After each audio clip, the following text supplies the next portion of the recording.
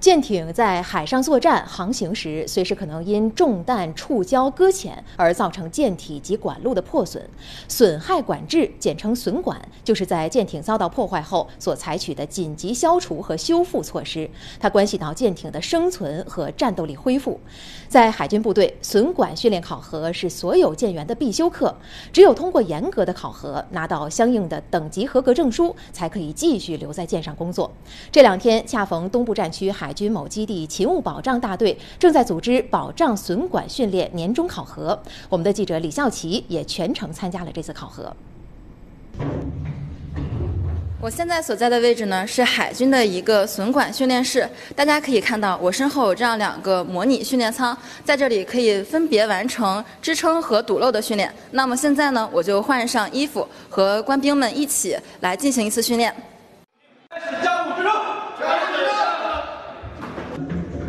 首先进行的是支撑科目的考核，它需要参与者有高度的默契，既要迅速判别舱室的受损情况，还要在最短时间内截取出不同长度的木支柱，组合成损管支架，完成对破损船体的加固。在海上的话，如果看似一个不大的洞，也有可能会几分钟让这个舱室完全淹没。考核中，力量不足让我在固定木楔环节屡屡败下阵来。但其实这已经是整个支撑考核中相对简单的部分。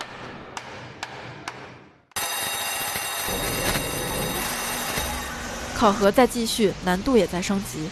支撑考核过后是更具挑战性的堵漏考核，强烈的爆炸冲击、破碎的船体碎片、大量涌入的冰冷海水，各种险情接踵袭来。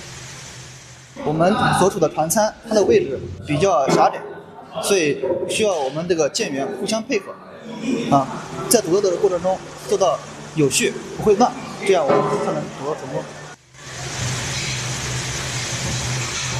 在战友们的鼓励和帮助下，我很快冷静下来，和大家一起根据破损口的朝向、形状和大小等因素，合理选择工具，在一分五十八秒内成功封堵两个破损口。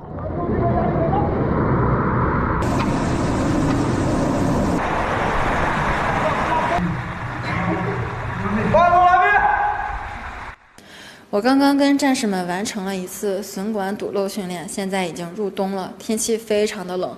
在刚才水流拍打在我身上的时候，我已经浑身都湿透了，而且我的眼睛几乎睁不开。在这样的情况下，我要完成这次训练，我觉得对我来说是一次非常大的挑战，而且也比我想象中更难。而在现实中，在海上，可能这样的破损口会更大，水流也会更急，会更强。